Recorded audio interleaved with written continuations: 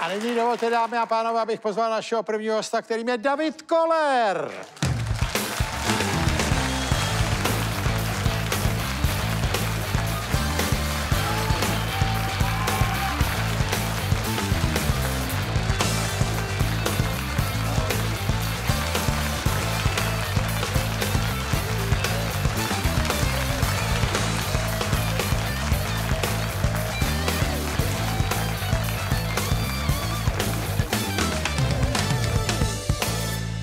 David Koller, kdyby někdo nevěděl, muzikant, skupina Lucie. Ostatně teď vyjde nová deska, že jo? Teď vyjde nová deska. Vyšla nová deska? Vyšla už? Uh, už vyšla. A Ona při, ale- ona přišla teda. Ale ona ta deska... Já si jako jenom odskočím tady. Já jsem na ní zapomněl trošku a manželka mi Aha, to mě těší, to vypadá, že jsi můj příbuzný s tím zapomínáním. No. Děkuju. no a to jsem se na tohle chtěl zeptat, tak to je krásný, děkuju moc, protože fakt vyšla deska. A dneska No. se to jenom říká často. Ještě ne, vlastně ani nevyšla. My zatím máme jenom na koncertech, já jsem ještě nebyl schopný to dát do obchodu. No ale, tak dobře, tak nejdřív říká, že nevyšla, pak říká, že vyšla. přišla. Přišla. Ale, no, ale že to opravdu vyjde jako na vinilu i na CDčku. Je to vinyl, je to CDčko a je to na těch streamovacích. A na streamovacích těch, protože dneska se to často jenom říká, to CDčko je takový propagační jenom, že jo? Tohle asi taky. No tak, eh, ale ty, ty máš gramofon, ne? Mám. Jo. Rozbitý. No ne, Ale... Ježí, Ježíšek mi přinesl gramofon a byl rozbitý. Když jsem si chtěl poslouch, poslechnout master tady té desky, tak jsem zjistil, že, eh, že nefunguje, tak jsem musel do studia jinam. No ale uh, umíš s ním ještě to, co jsme s ním kdysi uměli, že si tam člověk Opustit. vyměnil jihlu, jehlu, nastavil si antiskating. No tohle to jako tam to všechno jakoby je, ale To nefungovalo. není to pravý. Ale chrochtalo to. A pak jsme dělali vždycky s tou deskou, že jo. Je tam kopanec, koukám. Jako, A to bylo, to není, to je jenom malý drbanec. Ne, ne, chodil, to je jáma, hele, jako kráva, koukám na to. Počkej, to se musíme podívat. Chodil jsi na burzu? No Bory, já byl Dobrá. dvakrát zatčenej. No já jsem xkrát utíkal. Já si do dneška pamatuju, jak nás policajti sebrali a zabavovali nám desky a ten, co mě ji zabavoval, mě zabavoval desku Paul McCartneyho a říkal, Jardo, piš, Palm cártnej, re... Oni tam chodili, ty policajti, potom, že už si chodili pro ty desky, protože Pro ty věděli, desky, no, no. věděli, že to, A ještě mu diktoval retro ze Spervaj. to je dobrá. Ukaž, já se na to mrknu. No to vypadá, že je nejetá, fakt, no. Jo, to vypadá slušně, no. To bych vzal, takhle se to muselo brát, že jo. Hifi klub. A ještě oni to některý uměli hrozně rychle vyndat a zandat. Hifi klub, no, no. Jo. A tranzivat, zesilovat. To pamatuješ asi? Vypadá, že to měli všichni. Jsme měli jeden, celá země, že jo. To bylo úžasné. A pak jste doma poslouchal a uprostřed skladby to udělal. A ty jsi udělal jenom, to byl hajzl. Ale příště, on tam byl příště Ale taky a příště si zase, mu to hele, vrátit. jsi chtěl 300, že je nová, ale ta není On nová. za to dal něco jiného. tak vidíš to, no tak to je krásný a tak dneska vinyl mají jenom sběratele. Tak všim si si, že vlastně vyšumělo stereo, že ty mladý mají jenom jednu bedničku většinou? No, ale ona je taky stereo. No jako? No jako není to takhle, No, je to, není to takhle. to. Jako, no. A oni mají uh, jednu bedničku ještě malou, že jo, takovou, jako my přece vždycky ladili středáky, basáky na vejšky, který reprák je dobrý a oni to Já, dost... tak mají sluchátka. No, no, mají ty bílí, hele, takovýhle. Jako... Já myslím, že v tom komunismu pro nás ta hudba byl jiný vesmír, jako. No, tak dobrý bedny jsou dobrý bedny, třeba si Hifi To bylo, klubu. tak to bylo krásný. No a druhá věc je, eh, ale stejně, že jo, tak eh, podívej na Stony, ty hrajou pořád, se drží, je to zajímavý u rockerů, protože člověk by řekl, že ty rockeři odejdou trošku dřív třeba než jazzmeni nebo swing. Víš, jako, že se opotřebují rychlejš ty muzikanti, protože ten rock je takový trošku namávější. Ten Charlie Watts odešel, no už. No tak jeden, hele, no. Já myslím, že první teda odcházejí bubeníci, nebo jak je to? No tak to je možný jako- nástroj. Ale faktem je, že v Jasný pási jsem byl nejmladší jako bubeník a v Lucii jsem nejstarší jako bubeník. No ale Uvidíme. je to nejnamáhavější nástroj fyzicky, že jo? Určitě fyzicky, jo. No a nestane se ti, že bubneš a najednou, jako si říká, už mám dost. Klekneš, jako jo. No dech, jako třeba.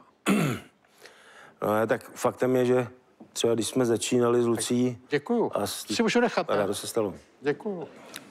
Eh, Tak, na burzu. tak jsem zpíval hodně, pís, hodně písniček za bubnama a No. pak vlastně uh, jsem zjistil, že, se to, že to nejde všechno, jako. Je to divný, to je pravda. A taky ze zadu, jako kontakt je to s divný, od publikem, lidí, no. Jo, někde prostě vzadu za to je. kapelou bubeník. Tak jsme vlastně měli od začátku dva bubeníky.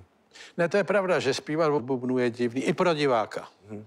Protože tam odzadu někdo jako je slyšet a ještě se často zakrývá tím, jak bubne. Ne, ale tak námaha ta fyzická je, ne? Určitě je. A máš na to nějakou životosprávu? No, určitě ji začnu. jo, plánuješ ji, No, jo? plánuju. To, to, to bys měl. Ale on ti bubnuje v kapele syn, ne? No, ten má lepší životosprávu než já. Jo, no tak je mladší o něco, ne? I když ty máš teď úplně malý dítě, že jo? To, no, vlastně jsou jedna desetina, protože Adamovi je 35 a tomu je třeba půl. Tři a půl. Jo, to už je ta parta svoje vnoučata si děláme sami, no.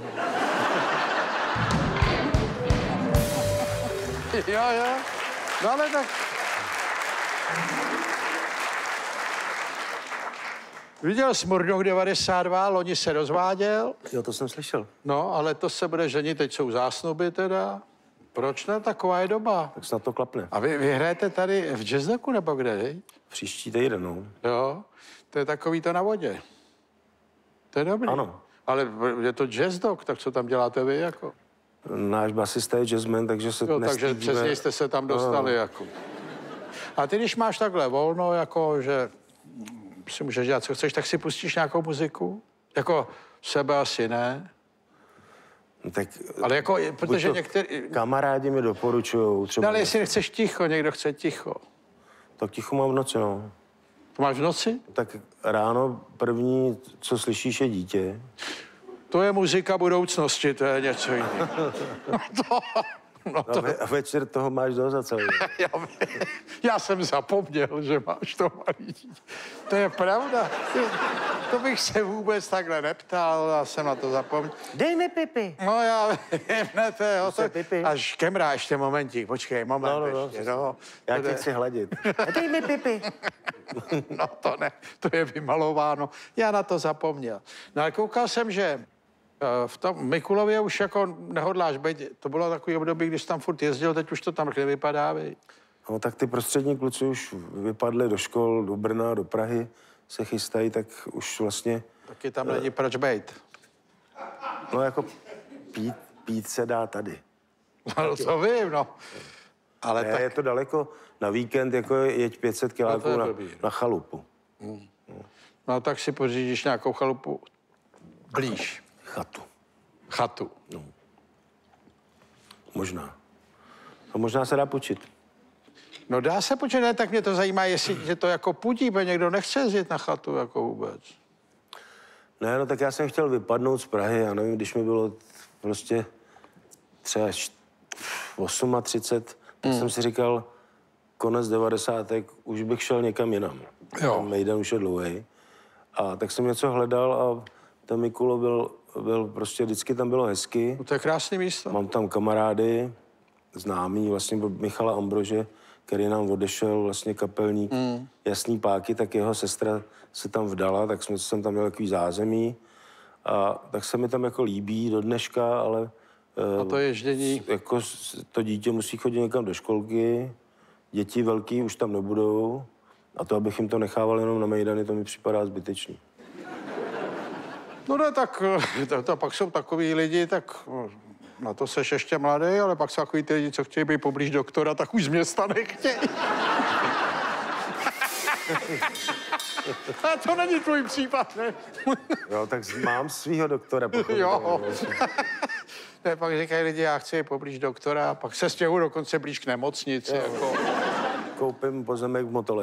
v Motole nebo na Vinohradech a tak dále, no, ale a pak je, já jsem tady nedávno měl kolegu Střihavku a ona vlastně, tvůj syn si vzal jeho dceru, vi? No, To je úžasný, že se to takhle jako proplejte. ne, je to, je to sranda fakt. A to je docela pěkný, ne? Jo, to ještě jsme si vlastně pořádně spolu nezaspívali, člověče. Ne? No. Ale tak je to hezky, oni se poznali přes vás nějak. Až mě zase pozveš za 6,5 roku, tak ho vemu sebou. Koho? Kamila. Kamila.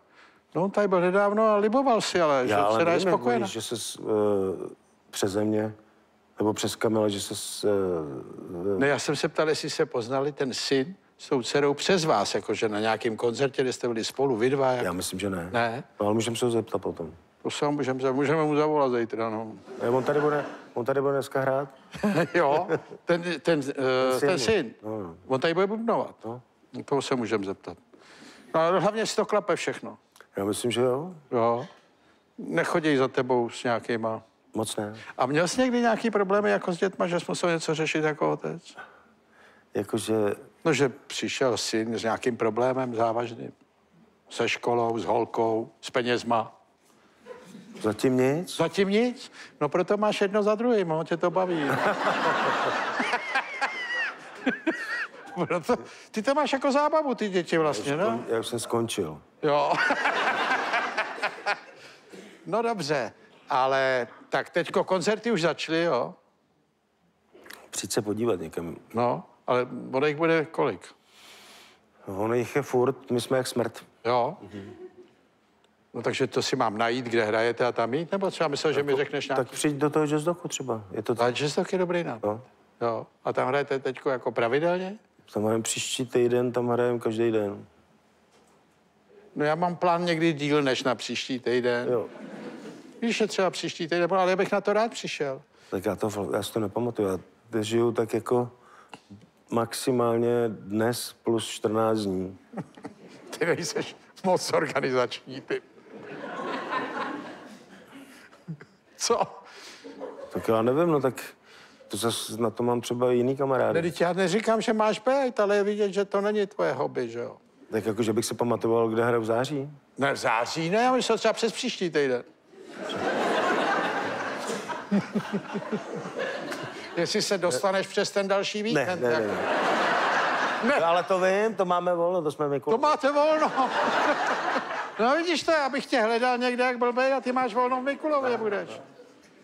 To A nevadí. pak hrajeme v Olomouci. To je daleko, ale ty chceš Prahu. Ne, já si vás najdu, neboj se. David Koller.